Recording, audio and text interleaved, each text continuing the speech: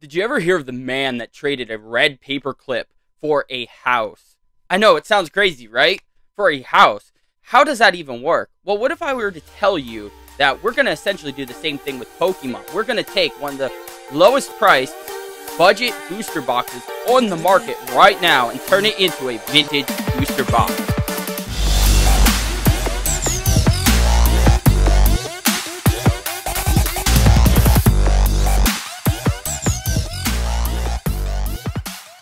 What's up everyone and welcome to the channel. If this is your first time here, I'm Cody from Selig's Pokemart. We do operate a small online store. If you do want to check out our website, it is linked in the description below.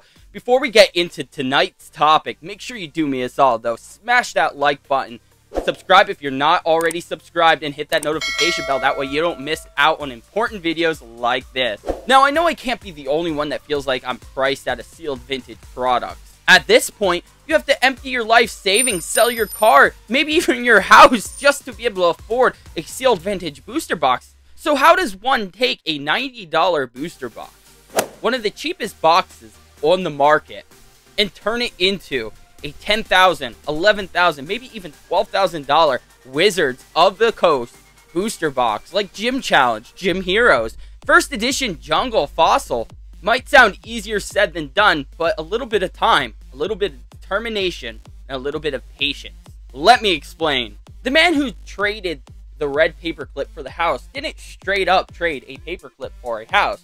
What he did was a series of trades, trading up to a more valuable item until it got to the point where he was able to trade up all the way to a house.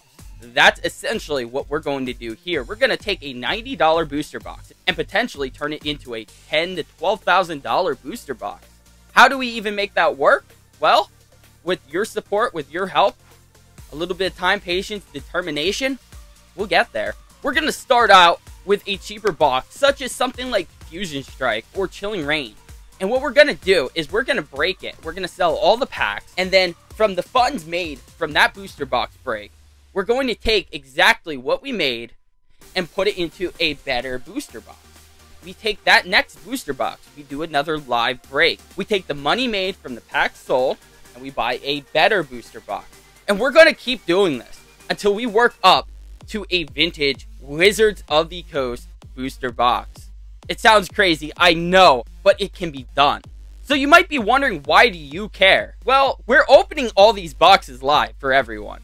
But you should care, because I'm going to be giving away some of the vintage packs to my subscribers as well for helping achieve this amazing milestone.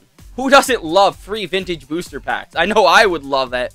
This whole project or experiment, whatever you want to call it, I will be documenting the whole thing here on YouTube. We'll be sharing all the information, all the funds made will be all shared publicly here on the channel. There will be 100% transparency. So you can see exactly how much we are progressing towards this goal of buying a vintage booster box and breaking it live. Now, I'm just an average guy. I'm an average collector. I'm sure a lot of you out there could relate to me. I don't have that type of money where I could just dump on a vintage booster box, spend $10,000, $12,000 on Pokemon cards. That's what this project is about, to show you, to show the community, to show the rest of the world that if you work hard enough and you're determined enough and have enough time and patience to put this type of effort in, you can really achieve anything. I really appreciate everyone's support. Remember, this project will not be possible without that support. Even if you're not participating in the breaks, subscribing helps. The views help.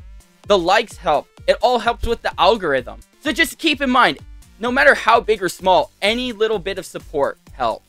Make sure you're subscribed to the channel so you don't miss out on more updates like this. This project should be beginning very shortly. It's going to be a blast, and I cannot wait to share it with everyone. As always, I really appreciate the support. Let's make like Charizard and keep this passion burning.